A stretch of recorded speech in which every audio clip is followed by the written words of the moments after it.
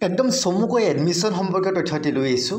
B Barua কলেজত যদি post graduate admission ল'ম বিচ ল'ম বুলি ভাবি আছে যদি বি বৰুৱা কলেজত আপোনালোকে পি জি কৰিম বুলি ভাবি আছে self financed botany chemistry geography and zoology মনত ৰাখিব self finance botany chemistry geography and zoology এইকেইটা ছাবজেক্টত যদি আপুনি বি বৰুৱা কলেজৰ পৰা পি জি কৰিম বুলি ভাবি আছে তেনেহ'লে আপোনালোকে অতি সোনকালে বি বৰুৱা কলেজৰ official website website W W W dot B Barooah college dot A C dot ইনত চাওক আৰু সবিশেষ তথ্য জানি লওক। প্ৰিন্সিপাল বি বৰুৱা কলেজৰ পৰা এইখন নটিচ ওলাইছে।